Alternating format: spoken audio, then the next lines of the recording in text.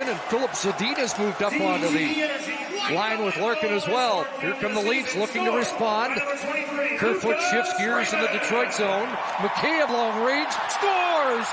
David Kampf looks like he got a piece of it in front, and it goes through Nedeljkovic, and the Leafs respond in a